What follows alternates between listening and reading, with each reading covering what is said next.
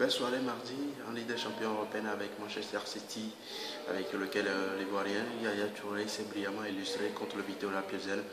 Le milieu de terrain a inscrit un but de toute beauté, permettant à son équipe de gagner 3 buts à 0.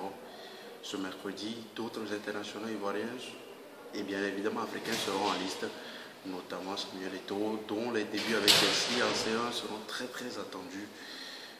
L'international camerounais sera en concurrence avec Demba on verra bien celui qui sera titulaire sous José Mourinho. Autre joueur à suivre ce mercredi, ce sera le Gabonais Pierre-Emerick Aubameyang, dont les débuts en Ligue des Champions avec le Borussia Dortmund seront très attendus du côté de Naples en Italie.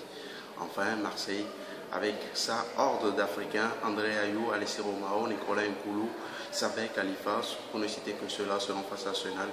Un match qui promet également des étincelles.